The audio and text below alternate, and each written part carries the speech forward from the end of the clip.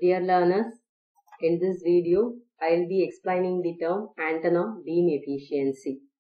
Antenna beam efficiency is one of the important antenna parameters. It is used to examine the quality of transmitting and receiving antennas. Antenna beam efficiency is defined by the ratio of power transmitted or received within a cone angle theta 1 to the power transmitted or received by the antenna where theta 1 is chosen as the angle where the first null or minimum occurs. In this illustration, this theta 1 is encircled through which the, uh, this cone angle power transmitted or received by the antenna.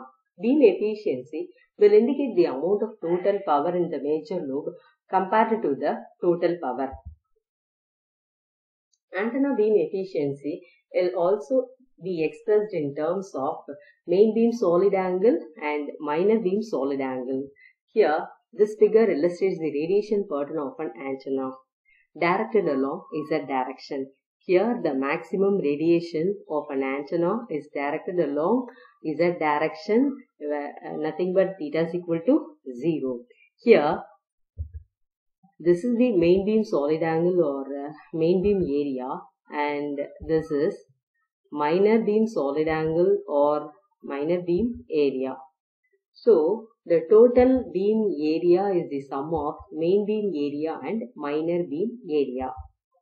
Antenna beam efficiency is defined as the ratio of main beam area to the total beam area. This omega A is equal to omega m plus omega m. This eta m is equal to the ratio of main beam area to the total beam area. So now we divide the equation omega A is equal to omega m plus omega m with the small letter m as divided by omega A. It will be simplified as 1 is equal to omega m by omega A plus omega with the small letter m by omega A. This is nothing but this is the sum of beam efficiency and the stray factor where omega m by omega a is the beam efficiency. This is the ratio of main beam area to the total beam area. The stray factor or deficiency of an antenna is nothing but the ratio of minor beam area to the total beam area. The sum of beam efficiency and the stray factor is equal to 1.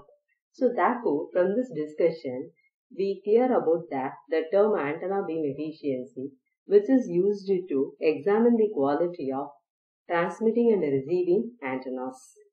Thank you.